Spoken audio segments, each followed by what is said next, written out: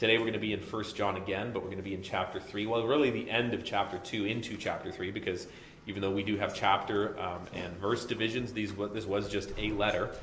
Um, the sermon is titled Love and Conformity. Love and Conformity. 1 John. So we're going to start in the end of chapter 2, um, and then going into, of course, the first few verses of chapter 3. Starting in verse 28 of 1 John chapter 2. Now, little children, abide in him, so that when he appears, we may have confidence and not shy or shrink away. And that's, again, this is to give context of the emotional maturity of the church that he's writing to. He's referring to them as children because they are babies in the Lord. They're children in, the, in, in their walk with Jesus Christ, which also is something that is a reminder for us to, to be patient with new Christians. With new Christians, if, if we're ever in a situation where, we're, where, where we are um, discipling someone or we are counseling someone and they are, uh, they are new to the faith, we have to remember that there's so many things that uh, are new to them and, and that they don't necessarily understand and obviously kind of find that balance between their, their fresh zeal and their joy for, of the Lord that they're experiencing for the very first time in their life, and then where they might not necessarily be totally biblically accurate, uh, and just kind of take both. Because we have an example here where John, and, and just in the earlier exhortations as well, if you've been listening, uh, listening in or watching on YouTube and, and, and being here on, on Sundays, you know, he writes this letter so that they may not sin. This is a, a, a, very, very new church that needs lots of guidance, and you can hear the grace in what it is that John is, is sharing with them as, as addressing them, you know, through this is again, this is we put the chapter divisions and the verse divisions in. He's coming back and saying, Little children, little children, my children. And so he's just coming to them with this gentleness, especially after kind of laying it down on them in, in, in, in uh, chapter 2 on there, you know, showing the difference between someone who truly knows God and truly doesn't, and, and, and pointing not just to their um, declaration of it with their words, but the actions and the deeds of their life. And so he addresses them and says, Little children, I want you to abide in him. What an encouragement. What a reminder, even for ourselves, to abide in Him, to make abode with Him, to be with Him, to be near Him, so that when He appears, we have the confidence and we won't shrink away from Him in shame. At His coming, and if you know that He is righteous, you know that everyone who practices righteousness is then born of Him. So, one of the easiest litmus tests of whether or not someone truly knows Jesus Christ as their Lord and Savior is do they have a lifestyle of righteousness? And when we look to their life, the first thing that we see is not the words coming out of their mouth, but again, same thing. The actions of their everyday life is what they are doing, something that points people to Jesus Christ. A righteous lifestyle, one that people can define as separate from the world in many different ways. And then in chapter 3, verse 1 through 4, 3. See how great a love the Father has bestowed upon us, has, has showered over us, the, uh, the NIV says, that we would be called children of God. And such we are.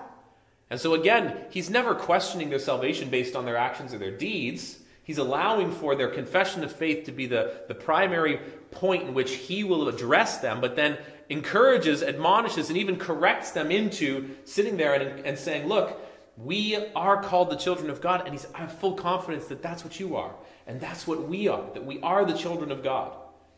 For this reason, the world does not know us or understand us, is also another translation, because it did not know him. Beloved, now we are the children of God, and it has not appeared as yet what we will be. Reference to a transfiguration moment when we are new and made totally new in, in Jesus Christ. We know that we, when He appears, we will be like Him because we will see Him just as He is. Again, seeing Him in the transfigured form, in the perfect, perfect form of a spiritual, spiritual God man. And everyone who has this hope is fixed upon Him, purifies himself just as Jesus Christ is pure. So He takes them in their current situation accepts, accepts them for exactly where they are at. But then, again, gently directs them to two things. He doesn't just point them to their present, he points them to their future, their eternal future. He says, when you're transfigured, and we don't even know exactly what you're going to look like, we don't know exactly what that's going to be, we don't even know what your role will be in the millennial kingdom and eternity, because we're not just sitting there on clouds eating grapes and drinking heavenly wine. We're doing things in heaven. We're appointed unto work for six days and reserved again that seventh day to worship Him. All the same things that we do here today will be will, will, will, uh, will translate into heaven, but we're going to have heavenly roles and heavenly callings, and all of those things will be something we do every single day. He says, So we don't know what you're going to be, and we don't know exactly what you're going to look like, but we're sure of one thing what? That you are his children. And so he takes them out of their current situation. He takes them out of their current folly, their current mistakes, and says, I don't doubt that you're the children of God. But what I am going to do is I'm going to steer you in the direction that you need to be by focusing on the fact that I have full confidence that you are sealed by the Holy Spirit, that we're going to be spending eternity in heaven, but then brings them back towards the end of that, of that uh, verse in, in, in verse 3 everyone who has this hope, describing eternity, describing transfiguration, describing perfection. Well, while they're here, their eyes are going to be fixed upon him, and they will purify themselves because he's pure. So he's, again, he's saying, look, you have to just drop this idea of Gnosticism, the dualism of spirit and body, and you have to purify your body as your spirit has been purified by Jesus Christ. It also is a bit of a nod to how powerful deception can be. Because the fact he has to address it this way and clarify it this much shows that they were likely falling back into the carnalism of just doing whatever it is that they wanted with their body. They likely were going back and engaging in either explicit sex acts or alcoholism or any kind of thing that was being affected by that, that kind of Greek area where Gnosticism was really taking root. And he had to really bring that back in. And he really had to correct that. So we don't know what it is. He doesn't name it. It might have been premarital sex. It might have been like, you know, we also forget that the Greeks are historically um, uh, known for, you know, quite a bit of sexual perversion. And um, obviously there's different areas of that. Athens was worse. Um, Sparta, you know, obviously Spartans. Um, they, they actually had different, different political um, um, punishments for acting like Athenians. Uh, if you actually go back and look at Greek, Greek history, it's really interesting. They had lots of divisions, lots of, uh, of tribalism. But we know that he was addressing impurities to the body. We also know, just by looking at the whole counsel of God, the greatest impurity to the body is um, a sexual one according to multiple New Testament scriptures. And so we can really just fill in the blanks and know they were doing something wrong gluttony, sexuality, and probably some stuff with their language and their words and, and not being, uh, being a witness of the purity of what Jesus Christ truly is. And so what he's conveying to them is that Jesus Christ, in his grace, saved us. But the greatest expression that we can return to God is a life of obedience to his Lord, to his word, and to his example. He sits there and he says to them, Well, everyone who has a hope, the hope of salvation that came not to them because of their own works or because of their own power, or because of their own will, the grace of God in faith.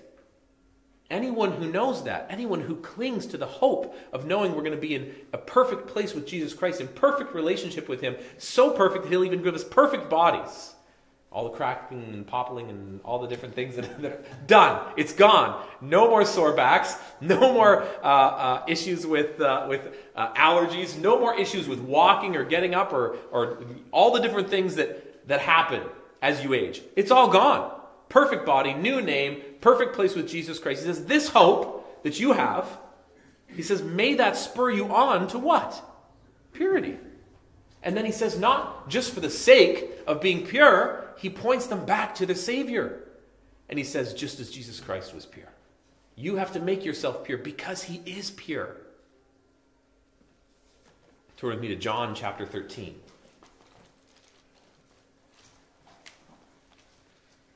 What it is, is he's actually defining true spiritual dualism with them.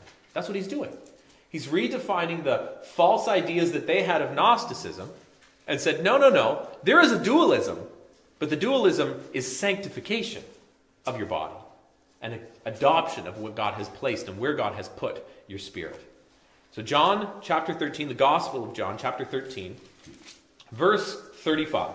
So, the Gospel of John chapter 13 and verse 35.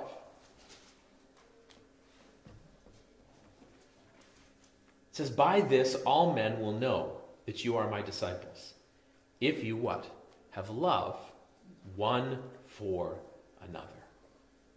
And this is going back also to recognize that Jesus Christ expressed his love to sinners before they could, could, could uh, reciprocate that love back. And then he says, once you are saved, the world will not know you for the love of the world. The world will not know you for the acceptance of them. The world will know you because of how you express Christ's love back and forth one to another. How you, as maybe a man and a woman who are in a church setting, respect one another and respect one another's roles, respect one another's bodies. Where a husband and a wife respect one another, love one another, are kind hearted to one another. The leadership of a husband and a father and a man. The beautiful and Christ like submission of a wife and the women in the church. When we look to what the Bible describes for us and how we are to love, it's clearly defined. So if we aren't doing it that way, and we do not express love the way that it's been defined in Scripture, then we're outside of the will of God. We're outside of His perfect discretion and direction that we received already from Him in an exhaustive playbook that we call the Bible. It's funny, my kids are, uh, are doing these little quizzes at, uh, at uh, my, my father in law's church because we go there in the evening. And so it's all these different little quiz things. How many books are in the Old Testament? 39. How many are in the New Testament? 27. What's the definition of Bible? It's one book containing two covenants. How many authors? 40. How long did it take to, to write? 1600 years. How many authors? Oh, no, I said that, 40. and so it just goes through and has all these different little quiz things. How many books in the Old Testament of, of prophecy? Major prophets, minor prophets, um, um, poetry, history. And so it's always just so you know, it's always 12 and 5, 12 and 5, 12 and 5. so you always have a 50% chance if you ever go to the church in the evening. But it's funny because you see the different learning styles of all of my children. They're actually all very, very smart.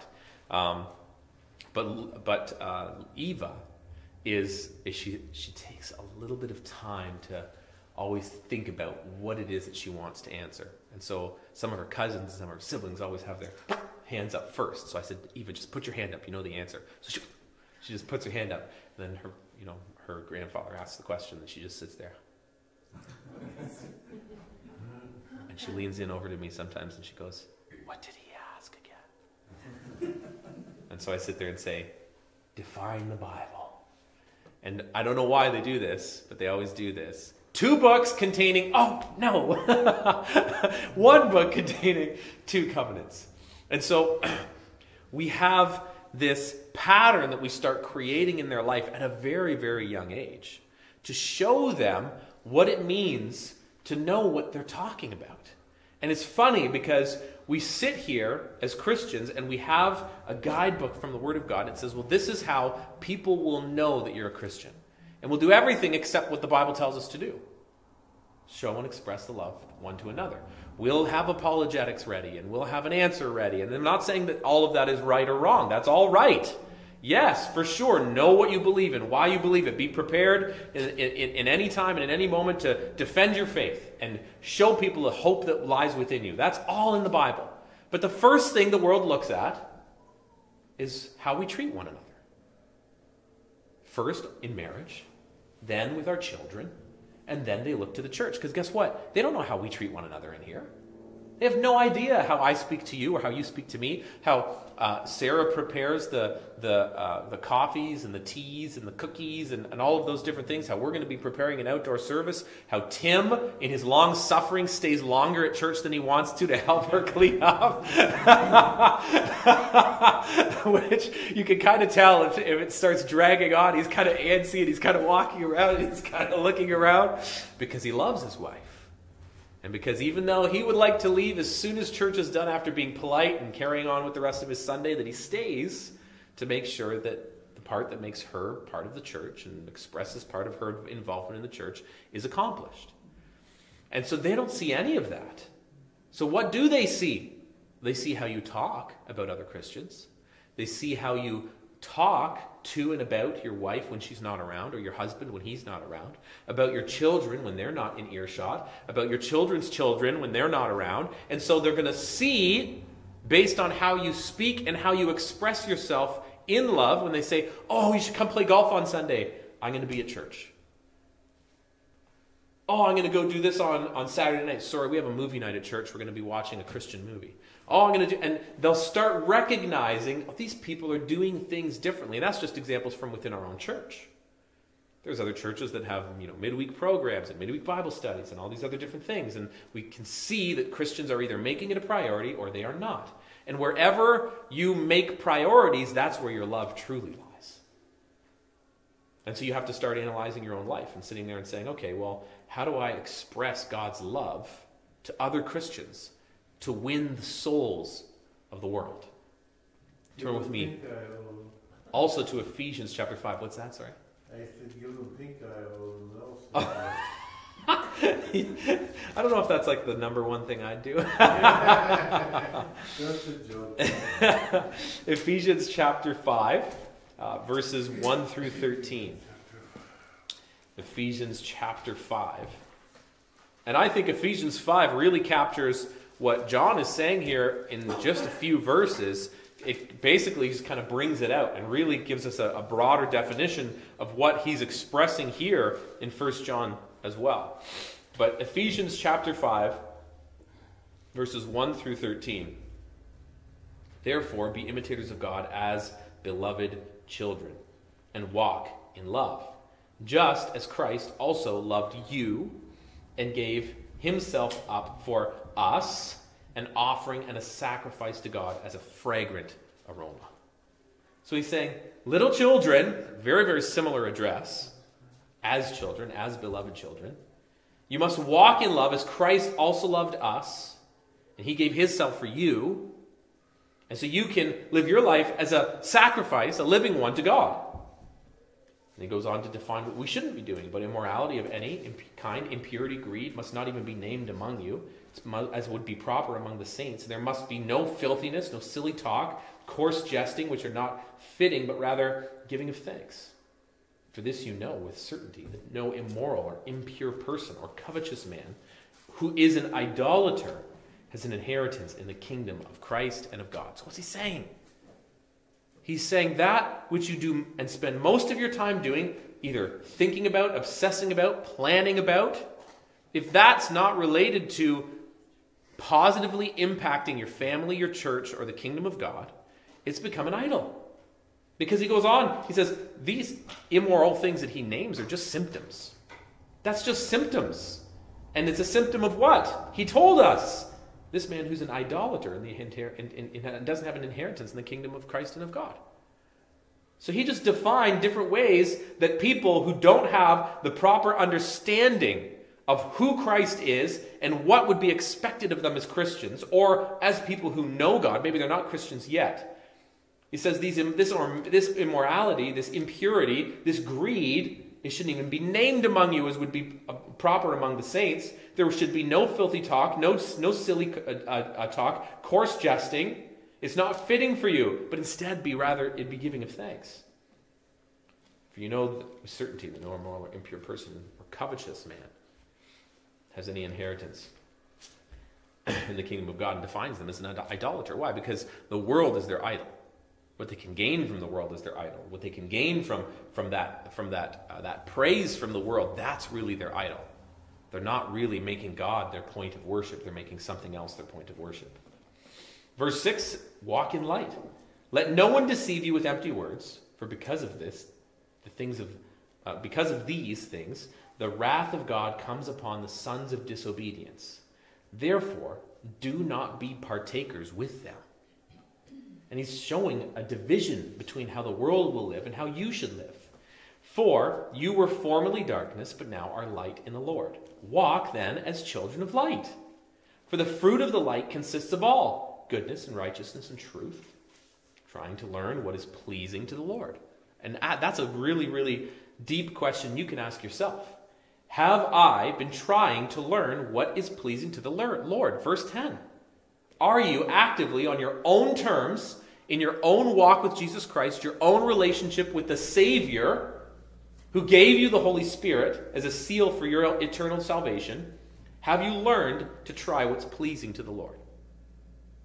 We do it with our wives, we do it with our husbands, we do it with our children, we do it with our grandchildren. Do we do it with God? The one that we should be starting with. There's an active, constant activity within your hearts to sit there and say, Is what I'm about to do going to please God? And how will it please God? And if you can't define that, you have to either define it or drop it. Verse 11 Do not participate in the unfruitful deeds of darkness, but instead, even expose them. For it's disgraceful even to speak of the things which are done by them in secret. But all things will become visible when they are exposed by the light, for everything becomes visible in the light. So the light of Jesus Christ should start shining within your own life. And you should be seeing what it is that you're doing wrong. You should be able to analyze and be subjective about your own life when you read the Bible, because the Bible is the light that will shine into your personal life and say, this needs to be rooted out. This needs to go. And this has to stay and this has to grow. So it has to be something that you, as a Christian, of your own personal walk with Jesus Christ, learn to just start weeding into and, and, and as far as things that need to be removed, weeding out. There's a quote here that I have from um, Jerry Bridges. God's ultimate goal for us, however, is that we would be truly conformed to the likeness of his Son in our person as well as in our standing. Those are two very different things. Standing is what the world sees, person is what God sees. Jesus did not die just to save us from penalty of sin, nor even just to make us holy in our standing before God. He died to purify for himself a people eager to obey him, which is a reference back to first, first John. A people eager to be transformed into his likeness. This process of gradually conforming us to being Christ like begins at the very moment of our salvation when the Holy Spirit comes to dwell within us and actually gives us a new life in Jesus Christ. We call this gradual process, progressive sanctification, or growing in holiness, because it truly is a growth process. Or, as my American friends tell me, process. They're saying it wrong. Tomato, tomato. so then, what is love? That's what you have to define, really. What is love as far as my relationship with Jesus Christ? How is that love defined? And the Bible defines it for us. It has to be self sacrificial. We have to be willing to give things up for the sake of knowing that it's better to serve God than to do those things. And so, if you can't make a list of things that you don't do, things that you have given up, knowing that it would lead the world down the wrong path, because it doesn't point them towards God, it points them towards selfishness or points them towards personal development or points them towards something that's separate from the gospel. You have to really start to analyze your own life and sit there and say, okay, if God has defined love as self sacrificial, in which I would be willing to sacrifice things to be a living sacrifice for Jesus Christ because he was a willing personal sacrifice for my sins, that he would be beaten, he would be bludgeoned, they didn't even recognize him, that he would be um, uh, martyred on the cross, bleeding out, and then suffocating on the, on, on the tree. I just have to be a living sacrifice. I just have to give up a few little things. Sure, some of it's going to be harder, absolutely. But that's the point. You don't think it was easy? It was, it was, you don't think it was hard for him to face the cross and to face the separation of himself and his Father and the Holy Spirit, to be removed because he adopts and, and weighs the whole sin of the entire world, past, present, and future, on his shoulders, that he can be a proper propitiation of our sins before his Father, lawful sacrifice, that he can say it is finished on that cross? Of course it was hard. Of course it was difficult.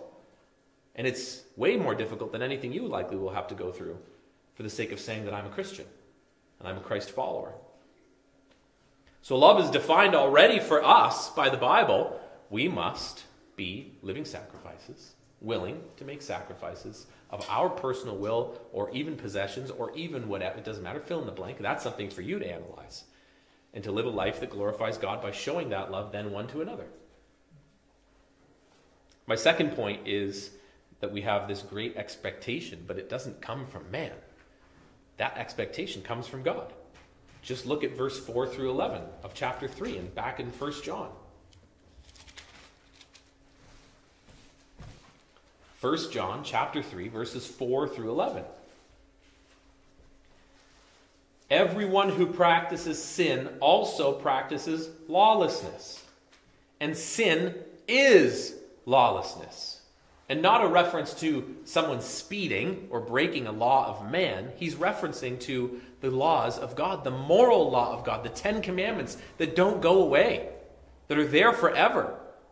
Not the, not the tittles and not the, the extensions of the, of the Levitical law that now don't apply, but instead bringing us back to the moral law of God, saying there's still a moral baseline in which you will live your life as followers of Jesus Christ. Verse 5 you know that he appeared in order to take away sin, and in him there is no sin. No one who abides in him sins, and no one who sins has seen him or knows him. Little children, make sure no one deceives you. The one who practices righteousness is righteous, just as he is righteous. Because don't forget, again, the lies of what they were learning there in, in, from, from the Greek philosophers and the false believers, or even, you know, maybe some Greeks that were Christians but, you know, couldn't get past their Gnostic beliefs. They were saying, well, no, you can act however you want. It doesn't matter. So you can act righteously and you can act unrighteously. It doesn't matter because that's just your body. Your spirit is made perfect in Jesus Christ. So you, that will never be tainted by what you do with your body. That was the lie that was being told. So he's just saying, look, if someone's doing something that's righteous, they are righteous. So he's taking them from the negative and then bringing them into the positive of it as well. It's saying anyone who practices sinfulness, they're a sinner. They don't really know God if they're content and happy and have no guilt over what it is that they practice. And equally and opposite true, a man who does righteous things is a righteous man or woman based on the actions of what they are doing. But he's saying the core of it has nothing to do with the action itself. It's found back in what we read in verse 2 and 3. Everyone who has this hope is fixed upon and purifies, and then just as he is, makes himself pure. So he's saying the starting point is Jesus Christ. It's not your actions. The starting point is knowing him in a personal and loving way, not what you do and the deeds that you do, because he offers, if you continue to read on in, in, in 1 John, he offers consolation for those that sin and proper context of understanding that he's not speaking in absolutes and that if you have any sin that you're not a Christian, He's just talking about the patterns of their lifestyle and the choices they make every day. He goes on again and says, again, verse 7 little children. that grace of understanding that they're fresh, they're new Christians, they're still learning. Little children, make sure no one deceives you. The one who practices righteousness is righteous, just as he is righteous. The one who practices sin is of the devil, and the devil has sinned from the beginning. And that's the, you know, that's the nuance of the words. Practices sin, practices righteousness, which is what? A pattern of the day to day actions and deeds of that person's life. It's something that it can be expressed over a longer period of time, and people can define them by what it is that they are doing. It says here that the Son of God appeared for this purpose to destroy the works of the devil. So now he's drawing again that separation between someone who truly knows God and someone who doesn't. He says that Jesus Christ came for the very purpose to destroy what, what Satan was doing in the hearts of men since the fall of Adam and Eve. To free them from the choice of sin. Because there was no choice before, it was always just sin. so he says Jesus Christ has come for that very purpose to give you the freedom away and the freedom not to sin. He says in verse 9, No one who is born of God practices sin because he, what? And then we have that same word, abides in him. So he's near him, he's close to him. In ways, he's within him. And he cannot sin because he is born of God. And he's using this very, this very dualistic verbiage because he's doing the same thing the Gnostics were doing, but bringing it back to Jesus Christ and bringing it back to a lifestyle of righteousness. By this, he says, the children of God and the children of the devil are obvious. You just have to look. Anyone who does not practice righteousness is not of God, nor is the one who does not love his brother. Oh, and then he loops it back in. He says, You can look at someone's life and clearly see whether they do know Jesus Christ in the personal, loving way. Just look at the daily life. But then he brings it back and says, Nor the one who does not love his brother. So now he's taking it from people that you could even look that were outside the church or claim to be of God and aren't based on their actions. But then he holds the church accountable right after. Also, just the one who doesn't love his brother. So he points, he goes from what people would be looking at outside the church to going right back into the church and holding the church accountable for how they're supposed to be acting. And he says, if you don't show love to one another, he says it's no different than the people that are actively out there sinning on a regular basis. In verse 11, for this, the message which you have heard from the beginning, you should love one another.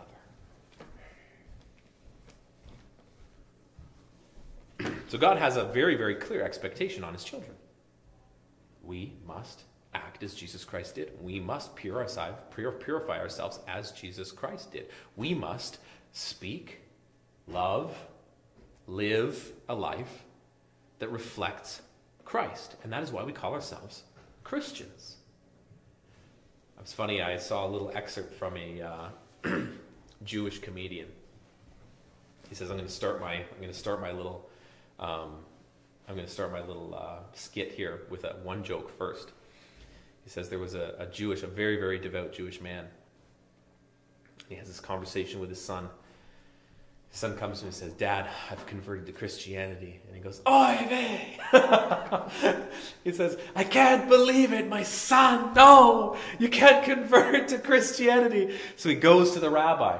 And he says, Rabbi, you would not believe it, my son. I raised him in the Torah. I raised him in the Talmud. And he runs away and he became a Christian. He says, Oh, my brother, he says, my son did the exact same thing. We must come together and we must pray to God. We must pray to the Father God and tell him what has happened.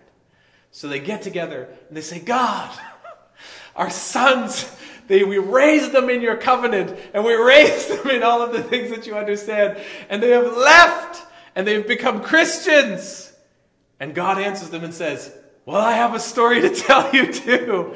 He said, I raised my son in all of the covenants and I sent him to earth and he became a Christian. Because obviously Christ's follower is Christian. Anyways, it was I thought that was pretty funny because it's a Jewish comedian acknowledging what God has said in His Old Testament to the New Testament and points them towards Jesus Christ. So we have to be able to show people that we are followers of Christ. That what we say we believe in is not just lip service, but instead it's life service of what it is we need to do on a daily basis.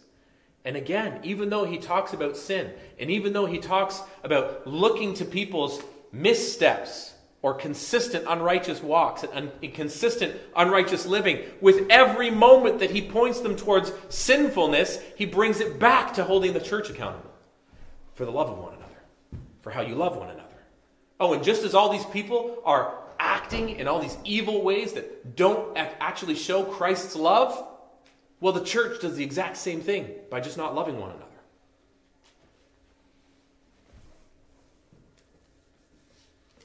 I want you to turn with me to Romans 7. I love Romans 7. Romans 7 is just a real kick in the teeth a lot of times. it is.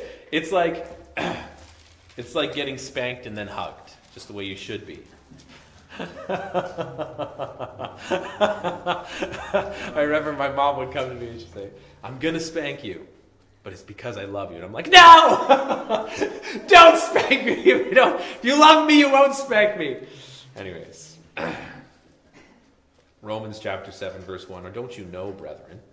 I'm speaking to those who know the law, that the law has jurisdiction over a person as long as he would live.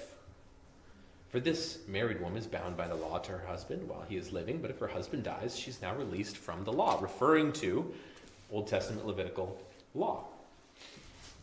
So then, if while her husband is living and joined with another man, she's called an adulteress, but if the husband dies and free from that law, she's then now not an adulteress, though she is joined with another man. Therefore, my brethren, you also were made to die in the law through the body of Jesus Christ. So he's saying the law is not dead. The law is actually alive, but it's fulfilled now in Jesus Christ. So that you might be joined to another, to Him, capital H, God, who was raised from the dead, speaking, obviously referring to directly to Jesus Christ, in order that we might bear the fruit of God. Oh, that's interesting. That reminds me of another passage of Scripture that says, Anyone who goes to a fig tree looking for grapes or goes to a grape tree looking for figs. He says, no, that's not, that's not the case. Because you wouldn't expect that. You would expect to find grapes on a grapevine and figs on a fig tree. For while we were in the flesh, sinful passions, while we were aroused by the law, it was we were at work in the members of our body to bear fruit for death. But now we've been released from the law, having died so that by which we were bound, so that now we serve in newness in spirit and not in the oldness of the letter. Not a reference to the moral law of God, but a reference to the Levitical law of God. And then, for the sake of time, what shall we say then is the law sin, verse 7, may it never be. On the contrary, or God forbid, the King James says, I would not have come to know sin except through the law. Law. The law is not the problem. The law is not your enemy. I would have not known about coveting if the law had not said, You shall not covet. But sin, taking the opportunity through the commandment, produced in me a coveting of, of every kind. For apart from the law, sin is dead. I was once alive apart from the law, but while the commandment came, sin alive and then died. And this commandment, which was the result of life, proved the result in death for myself. Why? Because he didn't have the power of the Holy Spirit yet. Because he didn't have the power of Christ yet. The acknowledgement of sin and the description of sin from the Old Testament condemned us. For sin taking the opportunity through the commandment deceived me and through it then killed me. So then the law is holy, but the commandment is holy and righteousness and good. Oh, it's just me that's the problem. but really, it's sin in me.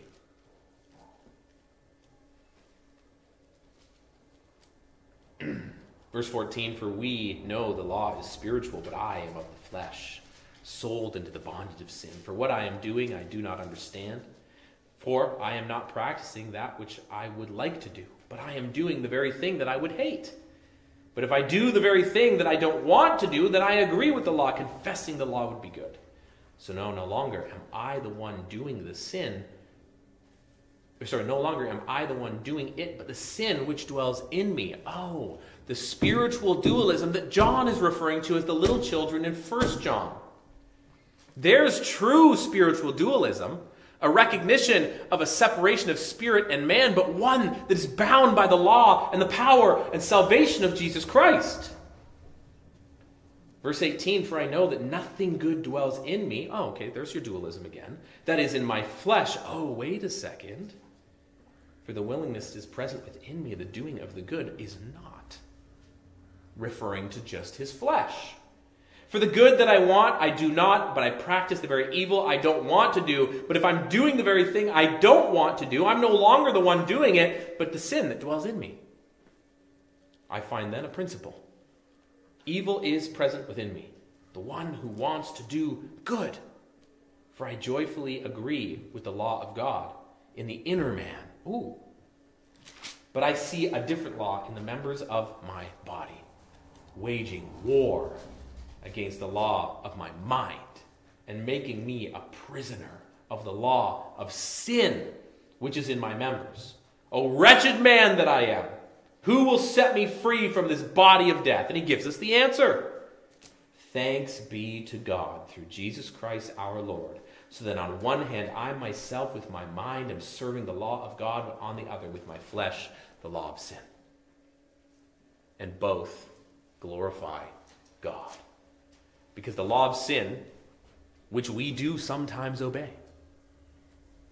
the imperfection of our lifestyle and everything that we do on a daily basis screams to our spirit that we need Christ. And simultaneously, Christ is in our spirit saying, It is finished. What Romans 7 is going to express to us is that our Christian walk, at the very least, is going to be a battle right till we die. you know, if maybe you were blind and deaf and mute, you'd sin less. you can only sin with the, with the fabric of the imagination of your mind. and you'd still need Jesus. You'd still need God. But at the very least, you're going to have a battle until your life is over. So, what do we find then back in 1 John? 1 John, verse 13, sorry, 11 to 24. We find that there's this outward evidence, and this is my third and final point my outward evidence of God's love in my life. Verse 12, sorry, verse 12 to 24. Not as Cain, who was one of the evil one and slew his brother. And for what reason did he slay him? Because his deeds were evil. His brothers were righteous. Do not be surprised, brethren, if the world hates you. Oh. So there's another thing that you can recognize. Does the world hate you for what you believe? Truly, does the world, the people that you also are simultaneously witnessing to, do they hate you for what they believe? They should. It's not to say that they can't not necessarily have a conversation with you. Absolutely. We have salvation by having conversations. But down deep in their core, there's something about you they should absolutely hate because they're the world. Now, of course, you have degrees of salvation, and I don't mean that you are partially saved, but the Holy Spirit is working on the hearts and the minds of people actively as you speak to them. So there's a softness sometimes, an acceptance, a tolerance, as well, even an interest in the gospel as they get closer and closer to the time in which God seals them for his eternity. But they should, based on what you believe, hate something about your life. Because you are the antithesis to everything that they hold dear and near in their life. We know, verse 14, that we have passed out of death and into life because we love the brethren. Man, he's just hammering on this, is he not? How many times is that now? In one letter? Six, seven times? He who does not love abides in death. Hmm, so we have to balance this as well. We have to show love, first and foremost, to our brethren. But we also, in, simultaneously, have to understand that that expression of love to other Christians is showing the world whether we are alive or whether we are dead spiritually. Everyone who hates his brother is a murderer. You know that no murderer has eternal life abiding in him. We know, and again, practices, not just one shot, because God even authorizes a murder all through the Old Testament, even parts of the New Testament. We know love by this, that he laid down his life for us. We ought then, what? Lay down our lives for the brethren. Have a willingness to die for one another. But whoever has the world's goods and sees his brother in need and closes his heart against him, how does the love of God abide in him? Little children, let us not love with word or with tongue, but in deed. This is also an, a, a, very, very revealing verse, but whoever has the world's goods and sees his brother in need and closes his heart against him. That goes to show you that it's not a sin to benefit off of the constructs of society for money. It's to make sure it's not your idol. because he's actually holding other Christians who have accountable against the Christians who don't. And he's saying, if you have money, the best place you can put it is in the pocket of a brother or a sister in need. The second best place, the orphans and the widows. And we see that through all of Scripture. A wonderful reference of that, too, if you want to, you don't have to turn with me. If you're quick, you will. I just want to want to wrap it up here, so I don't want to make you go everywhere. But James 2.14 says, What use is this, my brethren, if someone says that you have faith but have no works? Can faith save him? If a brother or sister is without clothing, yet you and, and need of daily food, and yet one of you says to them, Oh, go in peace and be warmed and be filled, and yet you do not give them what is necessary for their body, what use is that? Even so, faith, if it has no works, is dead, being by itself. Someone may say to you, Well, I have faith, I have works. Show me your faith without the works. I will show you my faith with my works. Believe that God is one, and you do well. The demons even believe and shudder. He's saying, You're no better than the demons. They say they believe in God too. He's saying there has to be both here. You can't just sit there and say, I have faith, and not showing that faith expressed for the brethren. And going back to 1 John chapter 3, closes his heart against him, then how does the love of God abide in him when you're not providing for the needs of your own people, your own brothers, and your own sisters? Little children, let us not love the word with just our tongues, but in our actions, our deeds, and in truth. Verse 18. Verse 19 says, We will know by this that we are of the truth, and we assure within our hearts before him. In whatever our heart condemns us, for God is greater than our heart and knows all things.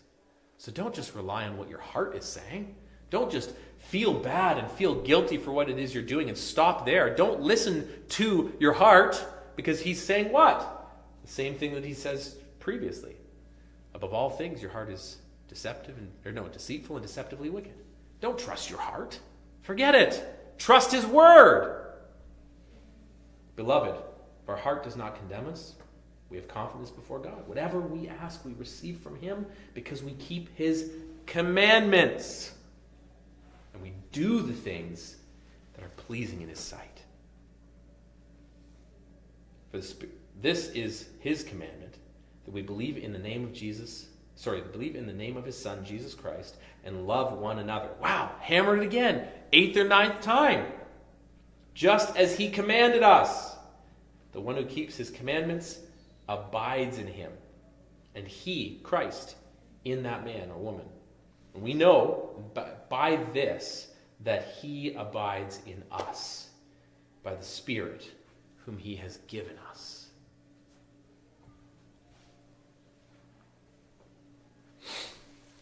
As what we read here, and then also that reference of James chapter 2, 14, love is simply self sacrifice.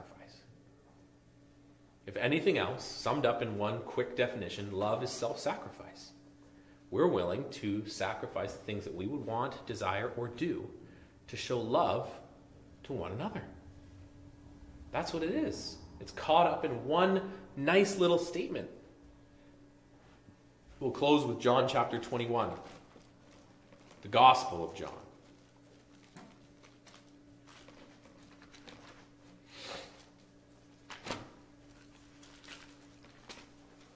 John 21, verse 15. So when they had finished breakfast, Jesus said to Simon Peter, Simon, son of John, do you love me more than these? He said to him, Yes, Lord, you know that I love you. He said to him, Tend my lambs. He said to him again a second time, Simon, son of Jonah, John, sorry, do you love me? He said to him, Yes, Lord, you know that I love you. He said to him, Shepherd my sheep. He said to him a third time, Simon, son of John, do you love me? And Peter was grieved because he said to him a third time, Do you love me? And he said to him, Lord, you know all things. You know that I love you. And Jesus said, Tend my sheep. Truly, truly, I say to you, when you were younger, you used to gird yourself and walk wherever you wished. When you grow old, you will stretch out your hands, and someone else will gird you and bring you where you do not wish to go. He said these things signifying of what end in death he would glorify God. And when he had spoken this, he said to him, Follow me. And what did Jesus Christ do? He laid down his life as a personal sacrifice for people, and specifically in reference here to Peter, who couldn't even say they knew him when it really mattered most, and denied him three times before the rooster crowed. So he's restoring him here. But he restores him to say what? Focus on the church, Peter. Focus on tending my lambs, tending my sheep, being the shepherd, the little rock, the Petra. May you be one of the leaders of this church when I am gone. And I need you to follow me. In self sacrificial love. And of course, was so renewed in the Spirit of God that he was put on a cross to be crucified, just as his Savior. And he said, Don't even associate me with the glory and the power and the perfection of him. You must hang me upside down. Please pray with me. Father God, we thank you for this day and we thank you for the time that we've shared together in reading of what it is that Jesus Christ has expressed to us in the Word. May we hold to it tightly in what it is that God has for us. May we analyze our own life and sit there and say, What has become an idol? What has stopped me? What has prevented me from being able to show Jesus Christ to the world and to one another, other Christians, fellow brothers and sisters in the Lord? And may we also first start at home, our husbands, our wives, our children. How can I properly, properly show Christ's love, show Christ's authority, show Christ's abundance in their life? And help us, Father, to make the hard decisions that are much easier still than what you had to face upon that cross and the separation you had from your Father. May we, Father, continue to remind ourselves of that so we can be glorified in obedience, submission, and alignment and conformity to your will and your power and your powerful example in Jesus' name. Amen.